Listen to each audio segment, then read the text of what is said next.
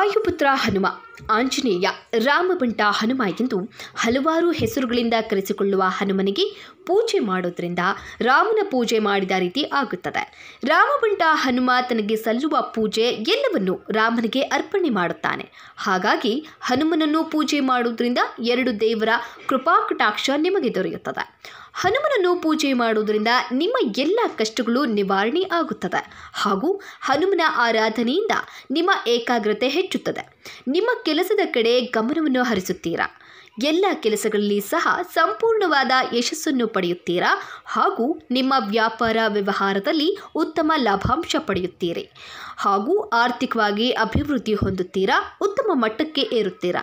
ಈ ರೀತಿ ನಿಮ್ಮ ಎಲ್ಲ ಇಷ್ಟಾರ್ಥಗಳು ಈಡೇರಬೇಕು, ಆರ್ಥಿಕ ಅಭಿವೃದ್ಧಿ ಹೊಂದಬೇಕು ಅಂದರೆ ಈ ರೀತಿಯಾಗಿ ಆಂಜನೇಯ ಸ್ವಾಮಿಯ ಪೂಜೆ ಮಾಡಬೇಕು. ಹನುಮನಿಗೆ ಪ್ರಿಯವಾದ ಕೆಲಸಗಳನ್ನು ಕೂಡ ಮಾಡಬೇಕು. ಹೇಗೆ ಆಂಜನೇಯ ಸ್ವಾಮಿ ಅನುಗ್ರಹ ಪಡೆಯುವುದು ಎಂದು ಈ ವಿಡಿಯೋದಲ್ಲಿ ಸಂಪೂರ್ಣವಾಗಿ ತಿಳಿಸ್ಕೊಡ್ತೀವಿ.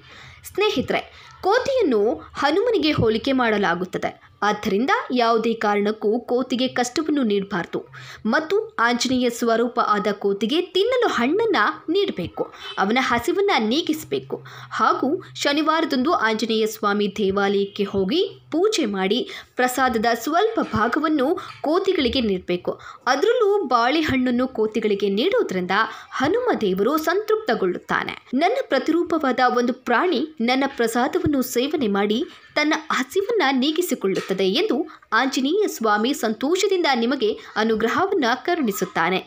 ಈ ರೀತಿ ಹನುಮನ ಆರಾಧನೆ ಮಾಡುವುದರಿಂದ ದೇವರ ಕೃಪಾ ಕಟಾಕ್ಷ ದೊರೆಯುತ್ತದೆ ಹಾಗೂ ನಿಮ್ಮ ಎಲ್ಲ ಕನಸುಗಳು, ಆಸೆಗಳು ಈಡೇರುತ್ತದೆ. ನಿಮಗೆ ಧೈರ್ಯ, ಆತ್ಮಸ್ಥೈರ್ಯ ಹೆಚ್ಚುತ್ತದೆ. ಎಂತಹದ್ದೇ ಕಷ್ಟದ ಕೆಲಸಗಳು ಬಂದರೂ ತುಂಬ ಸುಲಭವಾಗಿ ಮಾಡುತ್ತೀರಾ ಹಾಗೂ ಉತ್ತಮ ಫಲಿತಾಂಶ ಕಾಣುತ್ತೀರಾ? ಆರ್ಥಿಕವಾಗಿ ಅಭಿವೃದ್ಧಿ ಹೊಂದುತ್ತೀರಾ ಹಾಗೂ ಹನುಮಂತನಂತೆ ಬಹಳಷ್ಟು ಶಕ್ತಿಶಾಲಿ ವ್ಯಕ್ತಿಗಳಾಗುತ್ತೀರಾ? ಹಾಗೂ ರಾಮನ ಆಶೀರ್ವಾದ ಕೂಡ ನಿಮಗೆ ದೊರೆಯುತ್ತದೆ. ಗೆಳೆಯರೇ, ಈ ರೀತಿಯಾಗಿ ರಾಮನ ಬಂಟನಾದ ಹನುಮನಿಗೆ ಆರಾಧನೆ ಮಾಡೋದ್ರಿಂದ ಸದಾಕಾಲ ಆಂಜನೇಯ ಸ್ವಾಮಿ ಕೃಪಾ ಕಟಾಕ್ಷ ನಿಮ್ಮ ಮೇಲೆ ಇರುತ್ತದೆ. ಯಾವುದೇ ಶನಿಗ್ರಹಗಳ ದೋಷ ಇದ್ರೂ ಕೂಡ ನಿವಾರಣೆಯಾಗುತ್ತದೆ.